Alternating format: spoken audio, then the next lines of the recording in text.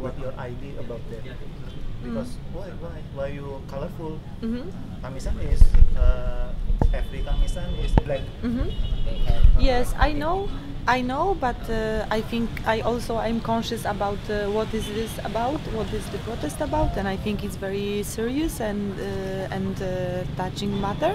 But uh, also I think like uh, the people that were there, they have joy in themselves also. You know, they were all smiling to each other, even if it's a very difficult subject for them. But I think being together there for them is something important and so I feel that uh, also the letters uh, people uh, don't mind if it's uh, uh, full of joy in a way, you know, because this is also like uh, uh, the, the people they are not violent, they are very um, peaceful and they are just standing there. So I think the letters are kind of um taking out their uh, characters and energy also, you know, and uh, I think it fits like this.